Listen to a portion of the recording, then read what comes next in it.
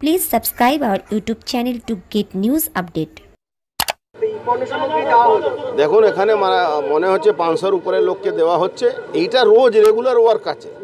আমাদের পার্টির তরফ থেকে, আমাদের বিধায়ক হোক, আমাদের কর্মীরা হোক, আমাদের মণ্ডল প্রেসিডেন্টরা হোক, সব জায়গা কোথাও না কোথাও দেওয়া হচ্ছে। আজকে বিকালেই হাজিনগরে দেওয়া হবে প্রায় কয়েক হাজার লোককে দেওয়া হবে।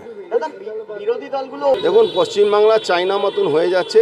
চাইনাতে ডক্টর যে বলে দিচ্ছে করোনার জন্য মারা যাচ্ছে, তার খুন করে দেওয়া হচ্ছে, তাকে জেলে ঢুকিয়ে দেওয়া হচ্ছে রিপোর্টারদেরকে জেলে ঢুকিয়ে দেওয়া হচ্ছে।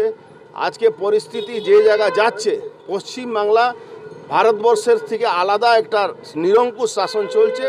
সেই শাসনের ব্যাপারে আমরা বারবার প্রধানমন্ত্রীকে আর আর হোম মিনিস্টারকে আমরা জানাচ্ছি হেলথ মিনিস্টারকে জানাচ্ছি আর যে এমপি বাংলায় সব তথ্য গোপন করা হচ্ছে। যেভাবে আপনারা দেখেছিলেন ডেঙ্গু সময় গোপন করা হতো। ডেঙ্গুতে লোক মারা গেলে বলা হতো মাল্টি আর্গান ফেলিওর এখন বলা হচ্ছে কিডনি ফেল হয়ে গেছে হার্ট অ্যাটাক হয়ে গেছে।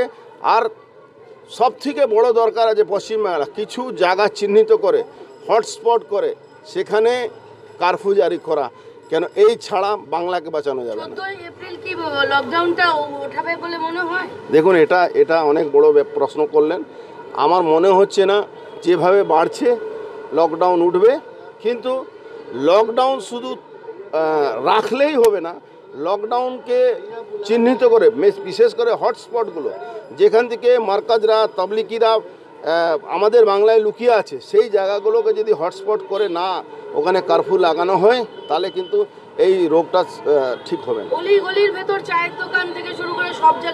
দিদিমণি অফিসিয়ালি বলে দিচ্ছেন তো মদ বিক্রি হবে।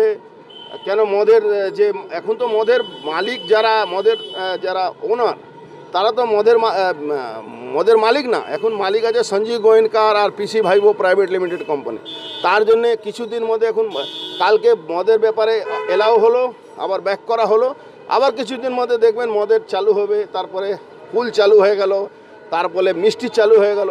জানি না কোন তথ্যের ভিত্তিতে উনি মিষ্টি চালাচ্ছেন আর ফুল চালাচ্ছেন আমি জানি না।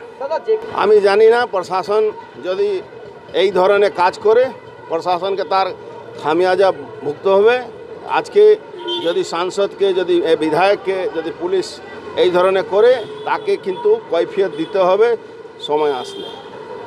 আপনাদের কাছে একটি নিবেদন যারা এখন আমাদের চ্যানেলটিকে সাবস্ক্রাইব করেননি, তারা অবশ্যই চ্যানেলটিকে সাবস্ক্রাইব করে নেবেন এবং নোটিফিকেশন পাওয়ার জন্য নিচে থাকা বেল আইকনটি ক্লিক করে নেবেন।